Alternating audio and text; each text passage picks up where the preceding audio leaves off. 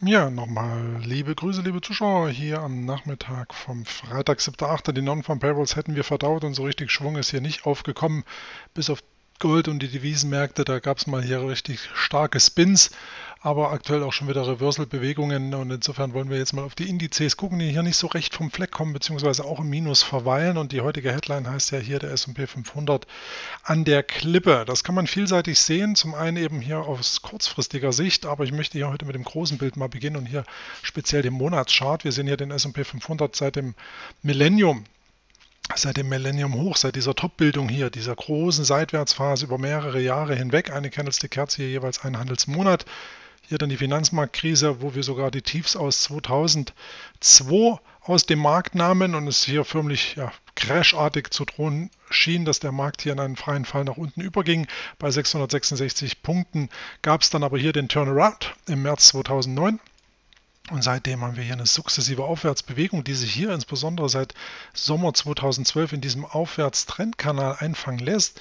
Und hierbei sehr schön zu sehen, dass wir hier entsprechende Auflagepunkte haben. Um genau zu sein, bislang drei an der Zahl. Und wenn Sie genau hinsehen, äh, hinsehen, dann sehen Sie ja aktuell, wir zoomen uns das mal ein Stück raus, dass wir hier aktuell wieder an dieser langfristigen Trendlinie notieren und dieser Monat hier durchaus spannend wird im Zuge dessen, wie es hier wohl weitergeht. Interessant ist auch, dass wir hier eine Kanalprojektion durchführen konnten beim S&P 500, der jetzt hier praktisch oben auch eine Bestätigung erfahren hatte. Dann hier sogar nochmal eine, wenn auch nur knapp, aber das gilt als Bestätigung. Und hier oben letztlich großes Fragezeichen. Da ist nichts passiert hier oben. Da sehen Sie ganz deutlich, es gab hier keinen Punkt, keinen Punkt, wo es jetzt hier raufging, beziehungsweise diese Trendlinie touchiert wurde. Das heißt, der Markt schwächte sich hier sukzessive ab, ohne innerhalb des Trendkanals hier ein signifikantes Hoch zu machen. Das Allzeithoch 2134 Punkte, äh, 35 rund zugegebenermaßen, wurde hier im Mai markiert und seitdem kommt der Index nicht so recht vom Fleck. Eine gewisse Abschwächung ist hier zu unterstellen und das jetzt hier, wie gesagt, im sehr, sehr großen Big Picture ist das durchaus eine sehr, sehr interessante Feststellung, denn auch hier der Zuschauer der Vergangenheit weiß, der Monatszyklus, der Siebenjahreszyklus beim S&P 500 sagt schon seit längerem eine Korrekturphase voraus. Das heißt, hier die grüne Linie ist jeweils der Siebenjahresabstand und die rote Linie, die Sie ja hier sehen, war immer ein markantes Hoch im Bereich des Siebenjahresabstands. Und wir sehen, dass wir hier aktuell von dem letzten zyklischen Siebenjahrespunkt schon ein ganzes Stück weit weggelaufen sind. Und so eine Situation gab es hier im Jahr 2000, nur umgekehrt. Da gab es praktisch das Hoch vorher, bevor der Siebenjahreszyklus erreicht wurde. Hier, wie gesagt, jetzt schon eine extremere Ausdehnung. Und die Frage ist eben, ob der Index jetzt hier mal einen Rücksetzer vollzieht oder nicht. Sie sehen, ohnehin seit 2009 eine enorme Aufwertung, hier insbesondere seit 2012 nochmal eine Beschleunigung und jetzt hier oben so eine kleine Bogen äh, oder Boden, Bodenbild, ich sage schon, eine Top-Bildung vielmehr.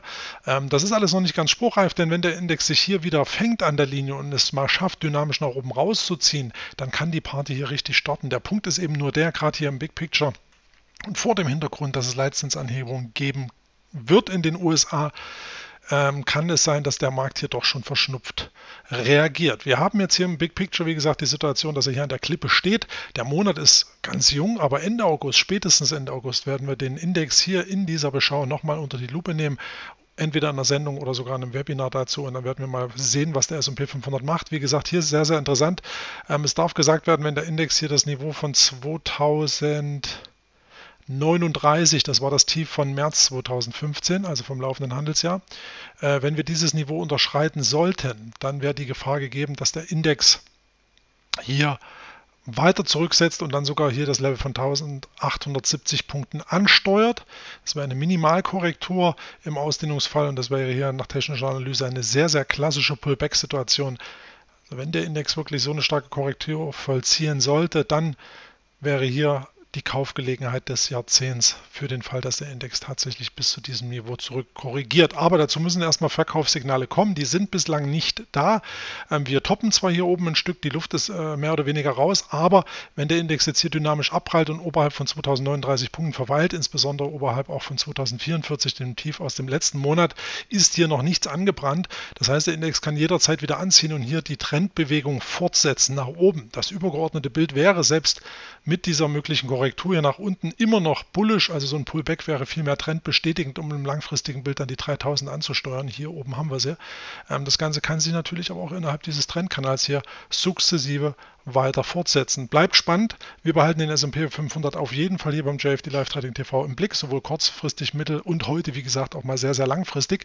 Und der Index steht eben nunmehr hier an der Klippe und der laufende Handelsmonat dürfte entscheiden, wie die Reise weitergeht. In der nächsten Woche schauen wir wieder mal kurzfristiger auf den Markt, auf den S&P 500. Der DAX wird ja heute auch wohl bekanntlich im Minus wohl verbleiben.